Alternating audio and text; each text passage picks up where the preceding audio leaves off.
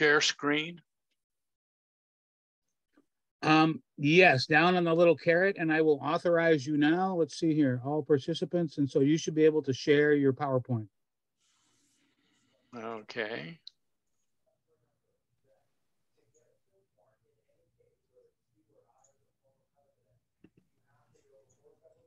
Okay, are you with me now, folks?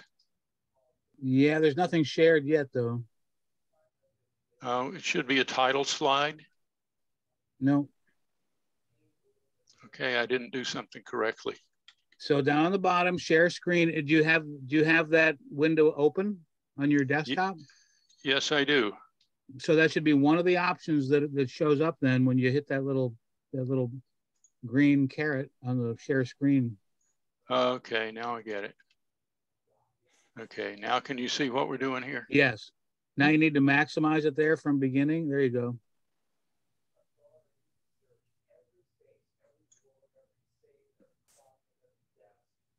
Perfect. And I'm going to mute too, Kent, and, and, and set up my camera as well. So okay, the floor is yours. All right. Well, thanks everybody for coming and attending tonight. This is going to uh, take about an hour probably. And we're going to talk about our monitoring program. And this particular session is training on StreamFlow. I think StreamFlow is a very important part of water quality monitoring, and we'll hear more about that as we go along. So here's a StreamFlow hydrograph. Hydro water graph is a graph, of course. So this is a water graph from the Quittapahilla Creek near Bellegrove, PA. This is uh, 19. This is 2022, all the way up through almost the end of July, not quite. And it shows uh, where there were storms and where there was no rain to speak of. And that's what we need to have for each one of our monitoring stations. And that's what we will have if we do our work correctly. Um, as we go along, I'll tell you more about it. So our whole monitoring program includes a lot more than just stream flow. Tonight, we're talking stream flow. But as background, our components of the monitoring program include habitat and geomorphology. This is typically done by our summer intern students. Biological monitoring done by Dr. Rebecca Urban and her students at Lebanon Valley College, and water quality monitoring. And that's what we'll focus on tonight. And that's done by our volunteers. And within the water quality monitoring component, we have stream flow monitoring, which we'll talk about tonight, fixed point sampling, meaning that we sample at one location over and over and over and over. And then we have some special studies that I hope we will get into eventually uh, probably on dissolved oxygen and on temperature. Tonight, stream flow monitoring, and it's a really important part of the overall monitoring program. Here are the locations of our fixed monitoring sites. Q1 is on the Quittapahilla Creek. Q2 is farther downstream on the Quittapahilla Creek. This is, this is the town of Palmyra, just kind of half in the watershed. Here's the town of Annville, and here's Lebanon. So this is Snitz Creek, Beck Creek, Bachman Run, Killinger Creek, all major tributaries to the Quittapahilla, and we have a monitoring station on each one of those tributaries. So here's the monitoring stations listed out. Um, and you can see exactly where they are. This Snitz Creek site is at Dairy Road, for example, and we call that station number S1 and so forth. So today we're going to talk about streamflow basics. Um, but we will include definition of streamflow, why is it important, and how do we measure it, and what will the role be for our volunteers. So that's the overview of the session tonight. What is streamflow? It's the volume of water moving past a point during a specified period of time. So volume is measured in cubic feet and time is typically measured in seconds. If we're in Great Britain, volume is measured in cubic meters and time is still measured in seconds. So stream flow is measured in cubic feet per second or foot cube per second, or we simply uh, call it CFS, cubic feet per second. And flow is the same as the word discharge which is the same as the volume of water, which is typically represented by the letter Q in mathematical equations. And we'll use that a lot. So when we're talking about stream flow, we're talking about the volume of water moving past a point.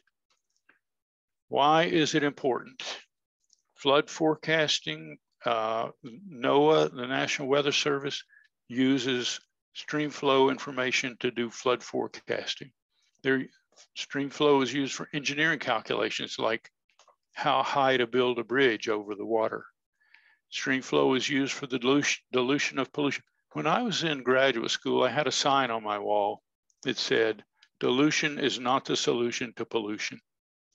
But in fact, it is because it is in part because the volume of discharge that can come from a wastewater treatment plant is dependent upon the volume of water in the creek. So the creek actually serves as a dilution for the incoming pollution.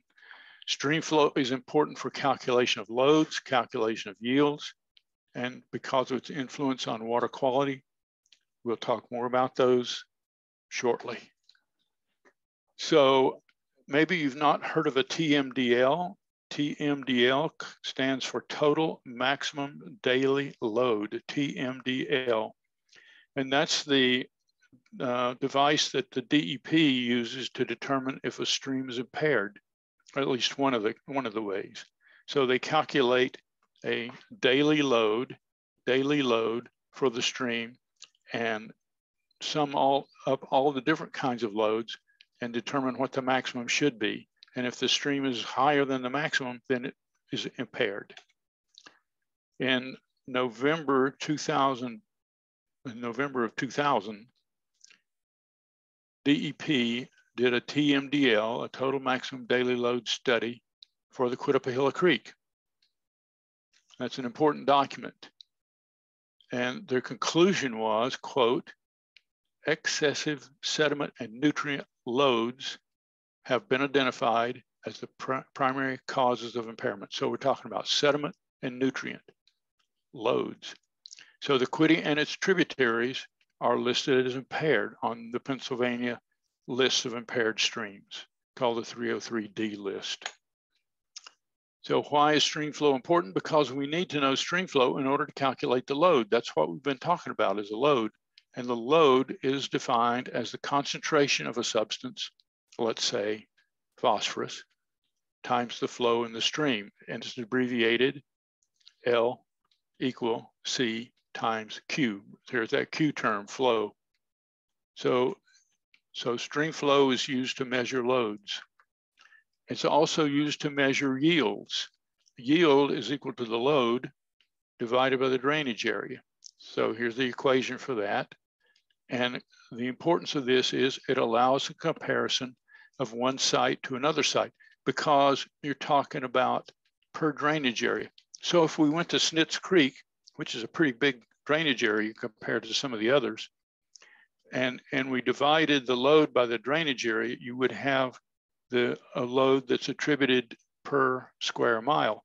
And if we went to Bachman Run, we could do the same thing and we could compare the load per square mile for Snitz versus Bachman or any other site for that matter. So again, though, we, we, know, we need to know stream flow because that's part of the load calculation. So flow also impacts water quality. Obviously, higher flows carry more sediment. Higher flows dilute point source effluents. Higher flows dilute groundwater inputs. So flow, once again, is critical to knowing what's happening. Here's a little schematic representation of how the volume of water or the flow has an influence on water quality. The higher the stream flow, the higher the concentration for suspended substances. For example, sediment or anything attached to sediment. Phosphorus, we know, sorbs very tightly to sediment. So do metals, so do many organic compounds. And so for these types of contaminants, the higher the stream flow, the higher the concentration. Here's a picture to demonstrate what we all know Uh, higher stream flow carries more sediment than low flow. And here's a flood occurring on a farm field and a lot of sediment coming with it. So what are the implications of this? Think about determining trends in water quality. Imagine the Quittapahilla Watershed Association installs stream bank stabilization projects at three locations. We know for sure that these projects will result in a reduced sediment input from bank erosion, but we need to prove it. So we do our water quality monitoring. And what we find is that the load of sediment has not decreased at all, but has increased. Surprisingly, perhaps it is because we initially sampled at low flow. Following the project installations, we sampled at higher flows, which carried more sediment. So it looks like, based on our monitoring, that the sediment load increased, increased but in actuality, it's just because the flow was higher. This is not unusual. Frequently in Pennsylvania, we have what we call high flow years or low flow years. And so you have to take flow into account whenever you're determining trends. So we talked about suspended substances. Now here's a schematic representation for dissolved substances. And what happens here is with these, as stream flow increases, the concentration decreases. Now that's exactly opposite of what we said for suspended substances. But indeed, this is what happens for dissolved substances like calcium, magnesium chloride, sulfate, nitrates, and also for point sources. And I'll demonstrate the point sources thing. Think about it. Let's say we have a stream Let's say it's the Quittapahilla Creek. It's fed by groundwater in many places. Groundwater is high in calcium and magnesium because there's limestone in the watershed. And so the groundwater is high in calcium and magnesium compared to rainwater, which rainwater is almost pure. And so if you get a lot of rainwater that causes higher stream flow, then you'll have dilution for the calcium and magnesium. So for dissolved substances, as stream flow increases, concentration decreases. Same thing for point sources. For example, let's suppose this is a treatment plant effluent coming into the creek. You can see that if there's low flow in the creek, then the treatment plant effluent makes up a large part of the volume of flow. But if there's a rain and the flow goes higher, then the treatment plant is basically diluted and therefore the higher flow means the lower concentration. So let's revisit why is stream flow important? We talked about flood forecasting and engineering, and now we just talked about dilution of pollution. We talked about calculation of loads, calculation of yields, and the influence on water quality. This is what I'm trying to impress upon you tonight. Stream flow is important for water quality monitoring. And if we can get that learned tonight, then I'm very happy. So we need to measure stream flow. How do we do this? Well, stream flow is equal to the cross-sectional area times the velocity of water. Cross-section is equal to the width times the depth. We measure the width using a tag line or a tape measure. We measure the depth with a yardstick or a rod. And we measure the velocity with a velocity meter. So here's a tape measure that we measure stream width. I'm sure you folks have probably seen these things before. Here's a wading rod with a little velocity meter attached to the bottom. And I have one of those set up here that I can show you. This gives you an idea of how tall it is, how big it is. And on the bottom of it is a little velocity meter. And this thing rotates around. And the faster the velocity of the creek, the faster it rotates. So we can measure the velocity using this device. Now I'm gonna, this comes with a headset. I'm gonna plug the headset in. And if everything works well, you should be able to hear it. Okay.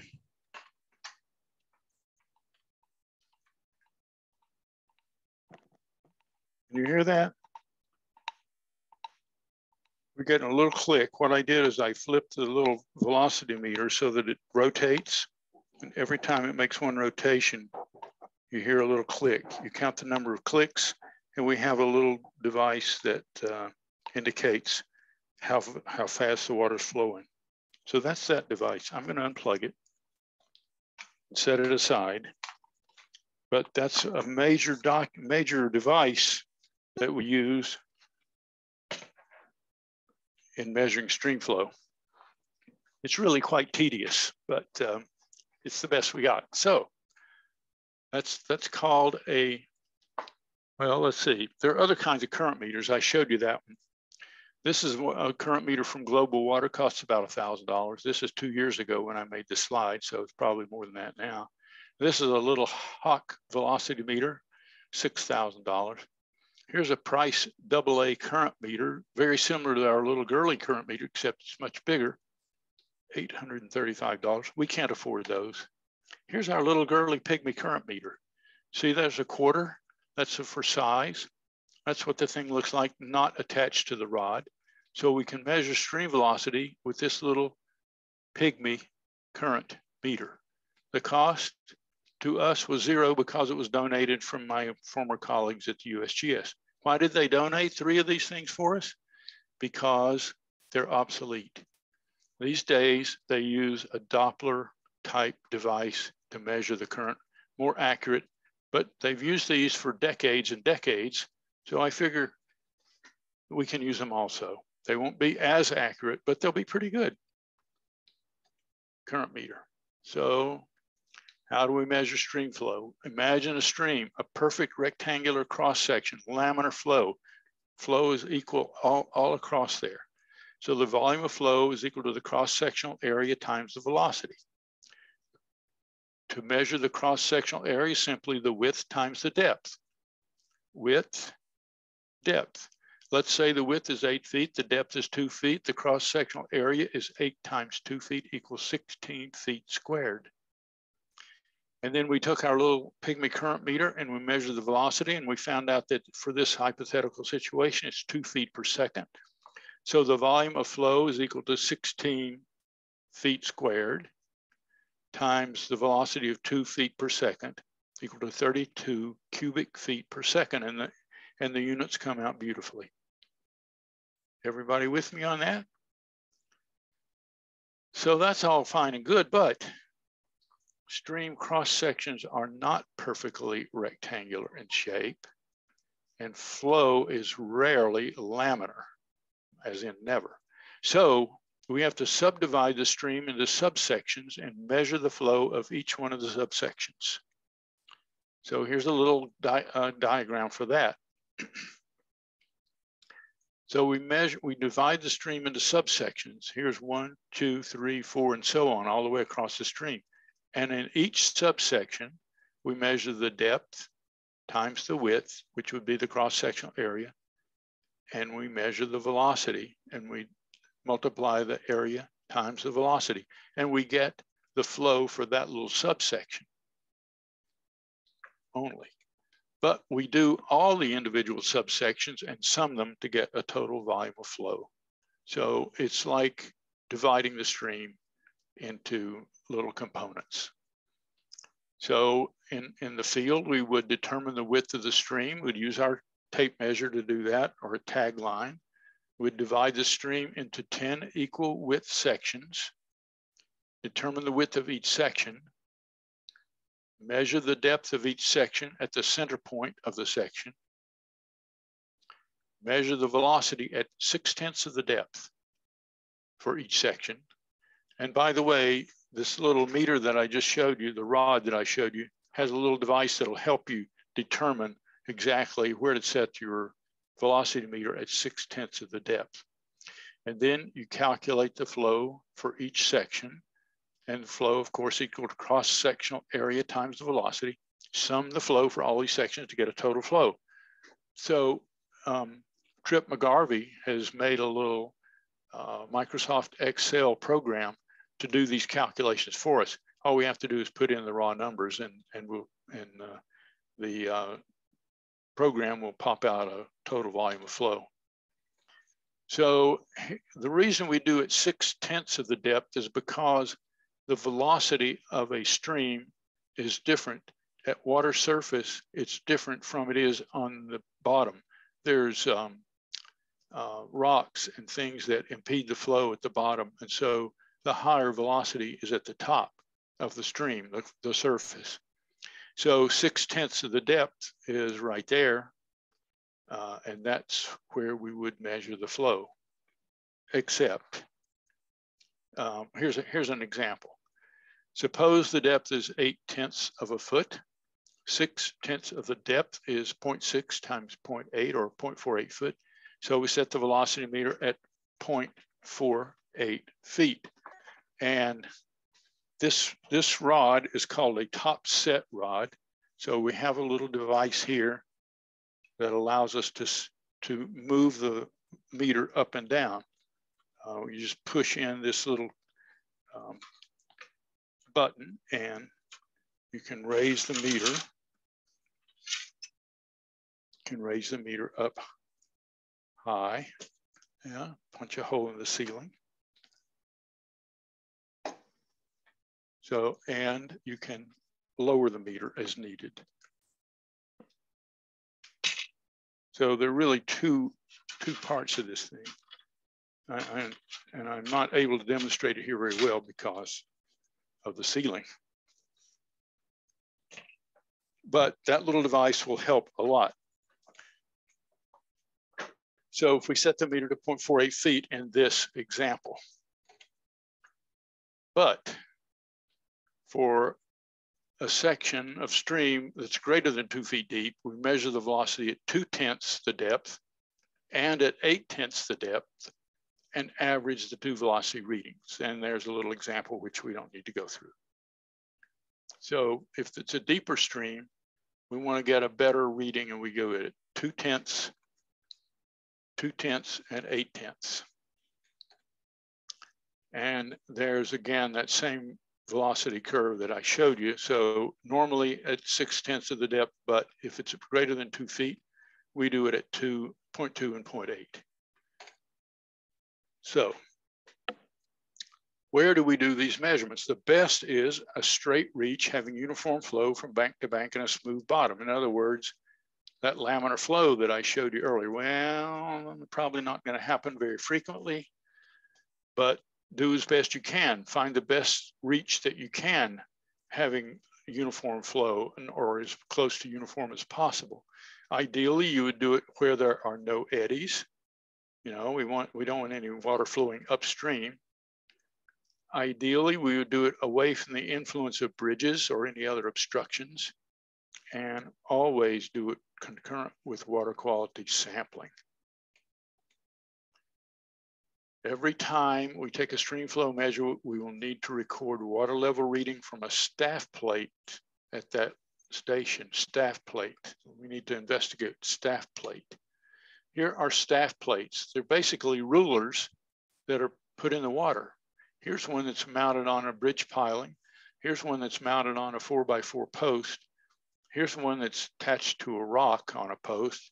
Here's one that's attached to a tree. So they come in all different kinds, but they're basically rulers, very accurate rulers that are uh, measure the depth of the water. And they come in several different styles. Um, but to read this one, for example, if the uh, if the uh, water level were here, that would be 1.51, 1.51 feet would be right there. We'll get practice on this in the field. So here's a staff plate that's mounted on a wing wall. That's very typical. And we'll use these readings to construct a rating curve. We'll make many streamflow measurements at one location, and then we'll measure that, plot that streamflow against the gauge height or the stage that we read off the staff plate. And so here is a rating curve. Here's the, we measured discharge with our current meter velocity meter. We measure the stage in feet from our staff plate. And here's a measurement, and here's a measurement, and here's one. And basically, if you do a log-log plot, it comes out pretty close to a straight line. But you can interpolate between these uh, because if you have enough readings like this one has, very nicely done. Now we also have a device that'll help us measure stream flow continuously. Uh, normally we can't measure flow continuously, but we can measure water pressure continuously. So we correlate water pressure with gauge height. We can measure stream flow and relate that to gauge height using the rating curve that I just showed you before. And then we develop a relation between water pressure and stream flow. Now, uh, this requ requires some additional information. So when we're doing continuous stream flow measurement, we first are doing not stream flow, but water pressure. And this device here is a pressure transducer. It measures water pressure. And and so by water pressure, I'm talking about the depth of the water over the transducer. Uh, if the if the water is two inches deep, there's less pressure on the transducer than if the water is eight inches deep. So this pressure transducer also has a, a memory device that will record the pressure. So we'll have a continuous measurement of water pressure using this pressure transducer. We have one of these set up at all at five of our gauging stations.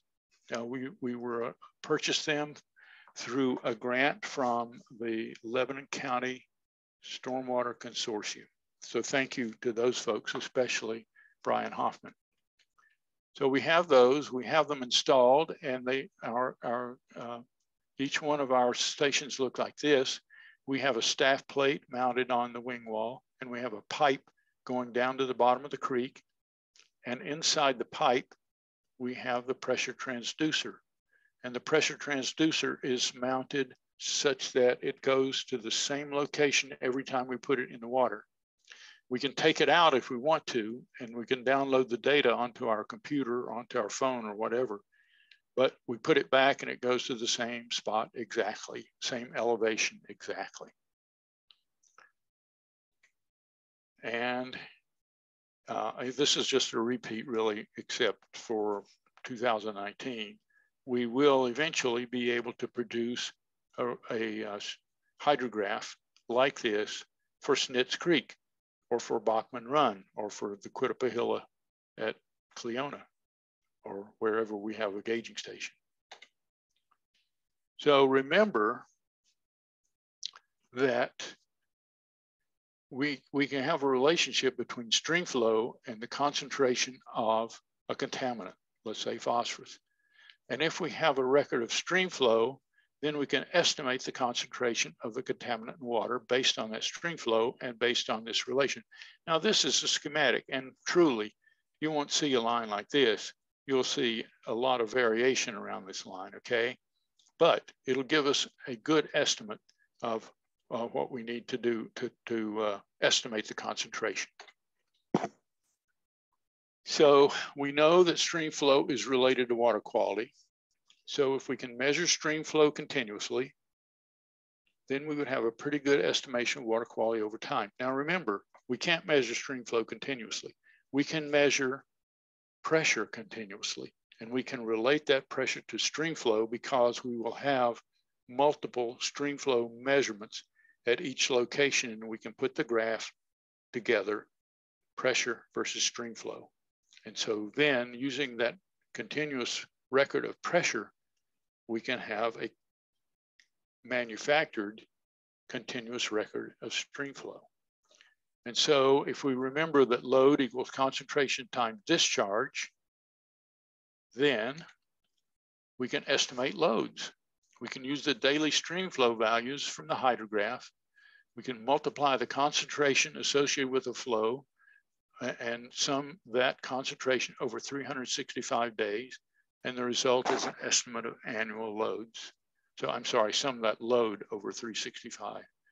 And we get an estimate of annual load. And that's what we hope to be able to do It's a lot of steps, but it's certainly possible. We have the equipment to do it and we have the volunteers to do it. Speaking of volunteers, here they are. Uh, and I just got a note from Russ Collins. Russ is really busy with what I believe would be higher level activity. Russ is now uh, on the national board for Trout Unlimited, and he's been very, very uh, active in landing, uh, submitting and landing funding for the Quittapahilla and uh, Little Creek uh, to the south of the Quitty called Hammer Creek. But we have still have a nice um, a dozen of volunteers. So I think we're in good shape.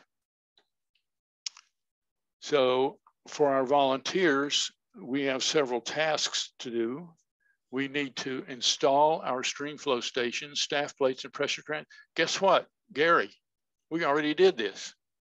Thank you. We need to run levels for the stream flow stations. That has not been done. That's not a high priority, but we need to know that that stream flow station is the same elevation year after year after year. We need to conduct stream flow measurements. We'll start doing that tomorrow. We need to collect water quality samples. We are not ready to do that. Uh, we have a lot of the equipment we need, but not all of it. And, and when we collect our water samples, we'll filter some of them, we'll preserve them, deliver them to the DEP lab, and we'll download data from pressure transducers onto our uh, notebook computers, and we'll do the calculations and the graphs that we need. And voila, we'll have a, a wonderful monitoring program for water quality. That's what's ahead for us. It's a lot of work. And my last slide here is a word of caution, stream flow safety. Any stream, even small streams, can rapidly become too deep or too swift to wade safely. Who here has heard about the flooding in Kentucky? I have. They've had very serious flooding in Kentucky. It can happen anywhere. Uh, even in Death Valley, they had a flood. Death Valley is a desert, isn't it? No. I mean, yes, but they had a flood because they had an inch and a half of rain in a day. And uh, the result was floods and washing away in Death Valley. So basically, if the stream is if the stream is too swift, just don't sample. It's not worth it. And by all means, use a wading staff. Uh, it helps me a lot, and I think it would help most anybody. So thank you, folks, uh, for your attention. I welcome any questions. I went through that really quickly, but uh, if you'd like, uh, I can answer questions. And I believe I will stop. I will stop the uh, the recording now, Kent, or should I keep it going with Q and A? I think it's okay to stop it at this point. Okay.